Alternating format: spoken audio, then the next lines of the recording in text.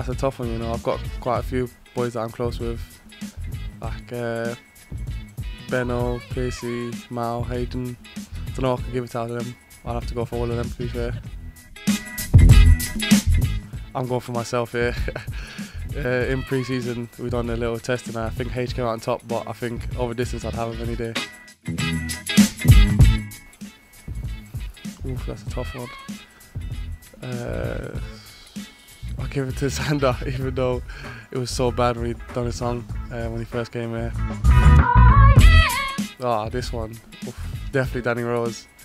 He comes in his training kit every day. That's, like some of the boys have probably said already, but I don't know how he can't like put on normal clothes to come to training. He just comes in his training kit.